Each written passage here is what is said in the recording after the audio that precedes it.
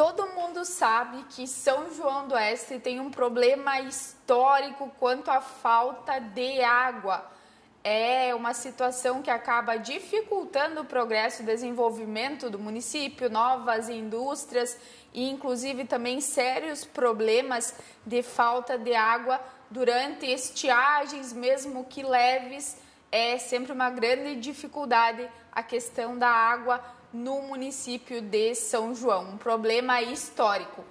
Mas ontem o prefeito Genésio Anton recebeu uma notícia muito importante, uma notícia histórica de que o município vai ser contemplado com mais de 5 milhões de reais em recursos para fazer o recalque de água do Rio Uruguai para as comunidades mais altas do município, como Macuco, Itacuruçu, que também sempre sofrem com esse problema de água.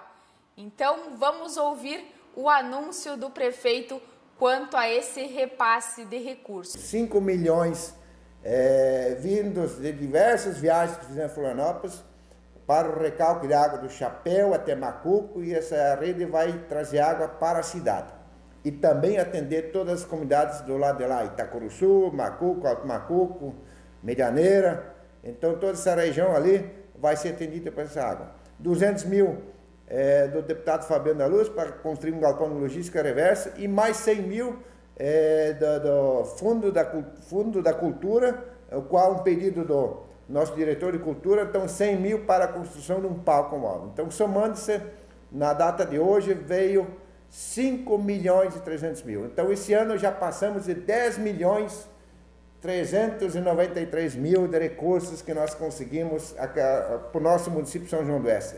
Então, uma notícia histórica para São João, para a administração do Genésio, do Rude, que fizeram várias viagens para Florianópolis para conseguir o repasse desses recursos era um projeto esperado só para daqui a 10 anos no município e vai se tornar realidade o mais breve possível. Recursos liberados antes das eleições, então agora se aguarda realmente a execução dessa obra tão aguardada por toda a população de São João.